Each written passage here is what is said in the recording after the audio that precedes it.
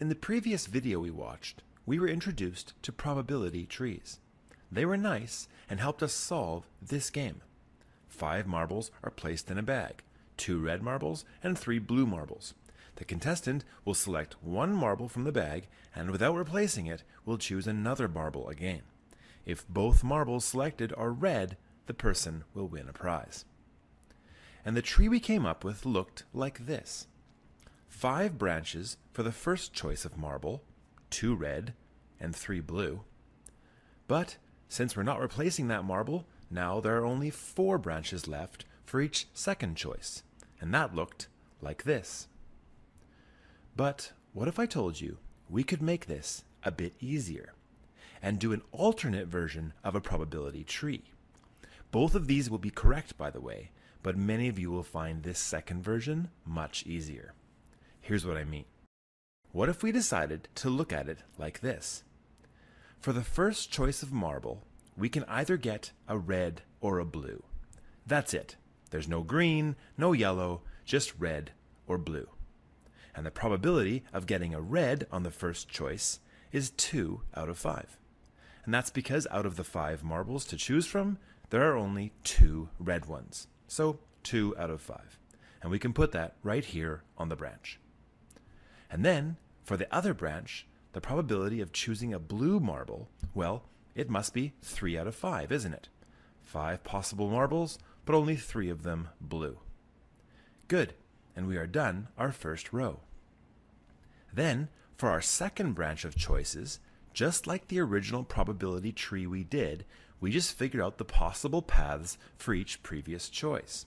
So, for instance, if we got a red marble first, then for our second marble choice, we could still get either a red or a blue, couldn't we? There is still one red marble left, so red is possible.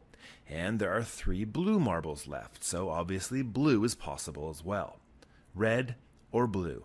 Those are the two branches that could happen. And now, all we have to do is write down the probabilities for those. Since there are four marbles left, with only one of them being a red one, that means there is a 1 out of 4 probability of selecting a red marble second. And with 3 out of the 4 marbles being blue, that's a probability of 3 out of 4. Nice! We are almost done our probability tree. Why don't you finish off the bottom half of the tree? You can do it. Just pause the video, and when you think you've got it, you can resume to see how you did. Have fun! Okay, here's the second half. See how you did. Now, how does it work? That is, how do we use this to calculate probabilities? Well, if you wanted to figure out the probability of any one branch happening, like say a blue marble first and then a red marble second, then you would just multiply the probabilities along that branch.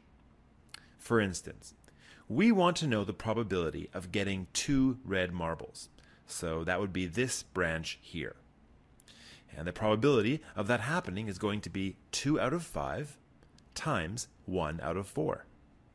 To figure that out, when multiplying fractions, we multiply the numerators, or 2 times 1 in this case, which is 2, and we multiply the denominators, or 5 times 4, which is 20.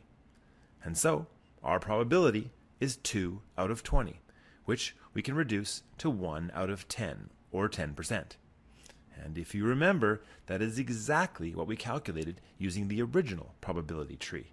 So both methods are correct, but many students find this way a lot easier. Both will work though, so either way, it's up to you.